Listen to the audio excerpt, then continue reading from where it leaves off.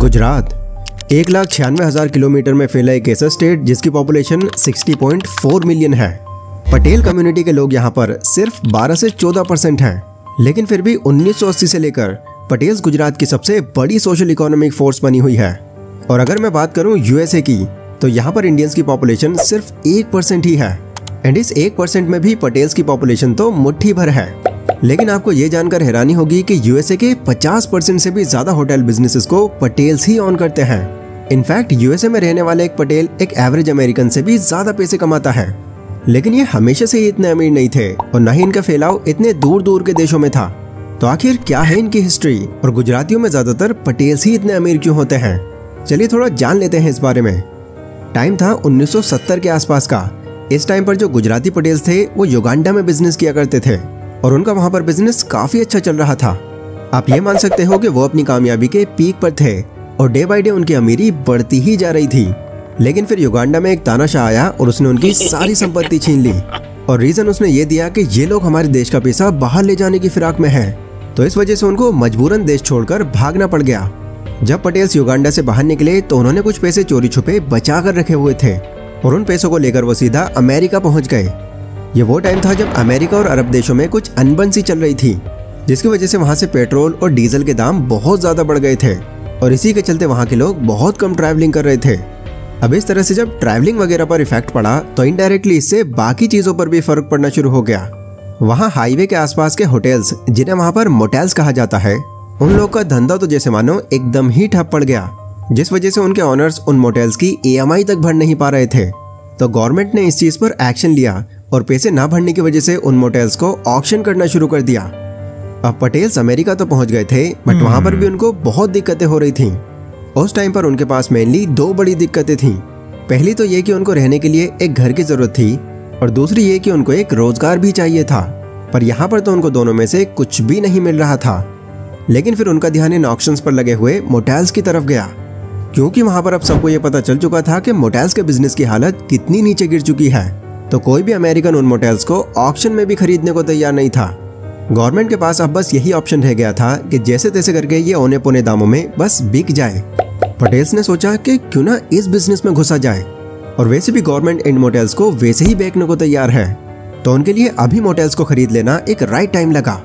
उनके मन में बस यही था कि ये जितना भी रिसेशन चल रहा है, ये कुछ ही टाइम का है। इसके बाद तो चीज़ें वापस से नॉर्मल हो जाएँगी। और लोग फिर जब वापस से ट्रैवलिंग करना शुरू कर देंगे तो होटल के बिज़नेस में भी प्रॉफिट होना शुरू हो जाएगा। लेकिन कहीं भी पैसा लगाने से पहले उनका एक रूल था, जिसे वो ज़रूर फॉलो करते थे। और वो रूल ये था heads I win tails I don't lose much यानी कि वो जब भी कहीं पर इन्वेस्ट करते थे तो हमेशा उनका यही रहता था कि कम से कम रिस्क पर ज़्यादा से ज़्यादा प्रॉफिट बने। और यही उनका धंधो स्टाइल भी था कि रिस्क तो बहुत कम चाहिए बट प्रॉफिट ज़्यादा चाहिए। और मोटेल के बिज़नेस में उन्हें ये मौका दिख रहा था। उन्होंने एक दिन अखबार में ये देखा कि पाँच हज़ार डॉलर की डाउन पेमेंट पर बीस रूम का एक होटल मिल रहा है। तो इस वाले ऑफ़र को वो देखते ही उतावले हो गए। उन्होंने अपने जानने वालों से मिन्नतें करके जैसे तैसे उनसे उधार पकड़ा। देन फिर ज़्यादा देर न करते हुए उन्होंने फ़ौरन वो होटल खरीद लिया। यहाँ से अब उनका गुजराती दिमाग और दौड़ना शुरू हुआ। उन्होंने अपना कैश फ्लो कम करने के लिए वहाँ पर काम कर रहे सभी लोगों को जॉब से ही निकाल दिया और पूरी फैमिली मिलकर होटल का सारा काम करने लगे। उन्होंने अंदाज़ा लगा लिया था कि उनकी फैमिली को रहने के लिए सिर्फ़ तीन ही रूम्स काफ़ी हैं, और वर्कर्स को उन्होंने ऑलरेडी निकाल दिया है।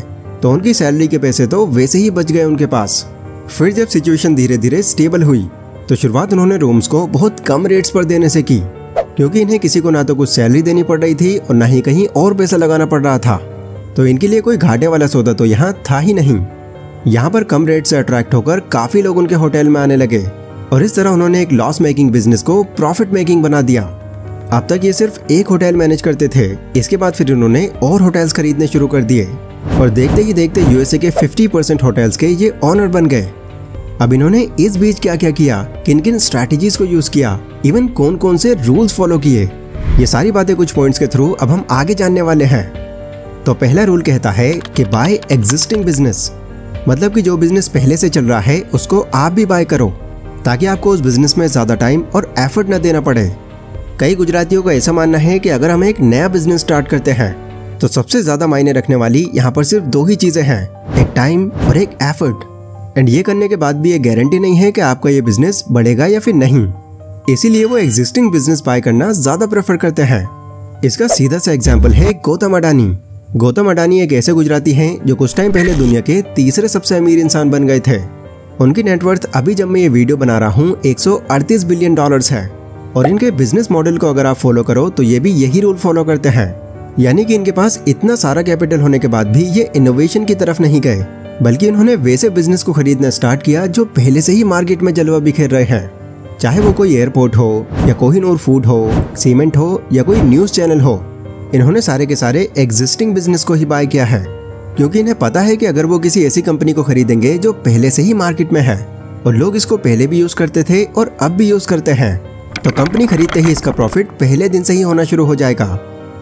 Number two is invest in simple business simple business से मेरा मतलब यह है कि एक ऐसा बिज़नेस जिसका रेट ऑफ़ चेंज काफ़ी स्लो हो, और जिसके बिज़नेस मॉडल को आसानी से समझा जा सके। वॉरेन बफेट बोलते हैं कि अगर आपको अपने बिज़नेस को डिस्क्राइब करने के लिए एक पैराग्राफ से ज़्यादा लग रहा है तो वो बिज़नेस एक सिंपल बिज़नेस है ही नहीं। इसलिए सबसे पहले तो आप एक सिंपल बिज़नेस फाइंड आउट करो। देन आप ये देखो कि उस कंपनी का रेट ऑफ़ चेंज कैसा है। मतलब कि वो बिज़नेस कुछ सालों में बंद होने की कगार पर ना आ जाए। फॉर एग्ज़ाम्पल कोका कोला और मैकडोनल्ड्स आज से 20 साल पहले भी थे और आज भी हैं। और बहुत ज़्यादा चांस है कि आने वाले 20 सालों तक भी वो ऐसे ही मौजूद रहेंगे। लेकिन दूसरी तरफ़ अगर मैं बात करूँ टिकटॉक चैट जीपीटी इंस्टाग्राम और फेसबुक जैसी चीज़ों की तो इनका रेट ऑफ़ चेंज काफ़ी हाई रहता है। अब आप में से कुछ लोग शायद ये सोचो कि चलो फेसबुक तो ठीक है, पर इंस्टाग्राम और चैट जीपीटी यहाँ कैसे आ गए? ये तो जब से आए हैं, तब से ही काफ़ी ग्रो कर रहे हैं। तो देखो, लगभग 20 साल पहले याहू और ऑर्कट के बारे में भी लोग यही सोचते थे। बट आज इन दोनों को ही इंटरनेट पर पूछा तक नहीं जाता। इनफैक्ट कुछ लोग तो इनका नाम भी पहली बार सुन रहे होंगे। क्योंकि ऐसी चीज़ों का कुछ नहीं पता होता कि कब गवर्नमेंट किसी पॉलिसी को चेंज कर दे और ये डायरेक्टली इससे अफेक्ट हो जाए। इसलिए वैसे बिज़नेस में इन्वेस्ट करना समझदारी है जो सिंपल हो और जिसका रेट ऑफ़ चेंज काफ़ी स्लो हो। Number three is buy business with heavy discount Warren Buffett की एक स्टेटमेंट है जो बहुत पॉपुलर हुई है, जिसमें वो ये बोलते हैं, जब सारे लोग लालच में आकर कुछ बड़े पैमाने पर खरीदने लग जाएँ तो आप डरो उस चीज़ से। और जब लोग डर हों तो आप लालची बन जाओ। बेसिकली उन्होंने ये लाइन स्टॉक मार्केट के बारे में बोली थी। पर अगर आप देखो तो ये और भी कई चीज़ों पर अप्लाई होती है। क्योंकि जब बहुत सारे लोग एक साथ किसी चीज़ को खरीदते हैं तो उसकी डिमांड बढ़ जाती है। और जहाँ डिमांड बढ़ेगी, वहाँ प्राइस तो ऑटोमेटिकली ही बढ़ जाएगा। और जब लोग कोई चीज़ ना खरीदना चाहते हो तो उस चीज़ की डिमांड के साथ साथ उसके प्राइस भी बहुत घट जाते हैं। रिचर्ड ब्रांसन, जो वर्जन ग्रुप के चेयरमैन हैं, वो ये स्ट्रैटेजी को बहुत अच्छे से करना जानते हैं। 1978 में जब वो एक आइलैंड खरीदने गए थे तो उसकी सेलिंग प्राइस उनको 6 मिलियन डॉलर्स बताई गई थी।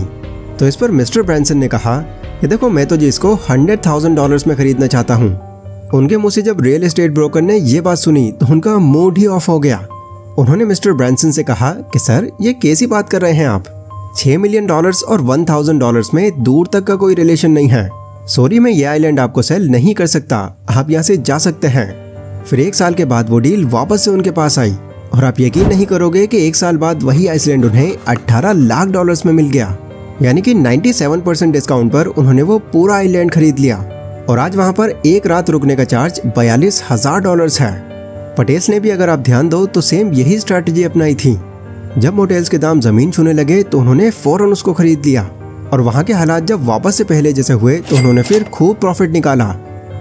नंबर फोर इज़ धंधो आर्बिट्रेज मान लो कि कोई जीन्स है, जो गुजरात के अंदर ढाई हज़ार में मिल रही है। और वही सेम जीन्स मुंबई के अंदर साढ़े तीन हज़ार में मिल रही है।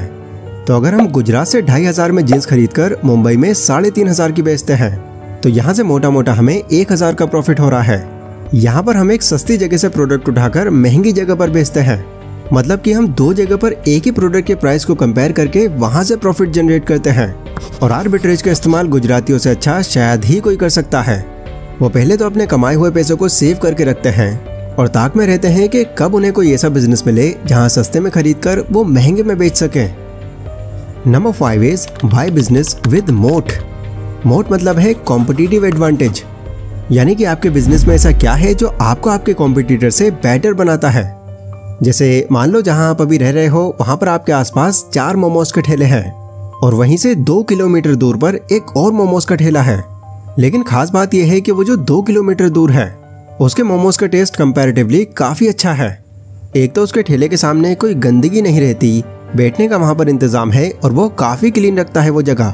तो अब आप बताओ कि एट द एंड आप कहाँ पर मोमोज खाने जाओगे? वेल नाइन्टी परसेंट चांस है कि आप उस दो किलोमीटर दूर वाले के पास जाओगे। यही है बिज़नेस मोड अगर आप किसी बिज़नेस में इन्वेस्ट कर रहे हो तो ये देखो कि उस कंपनी का मोड क्या है।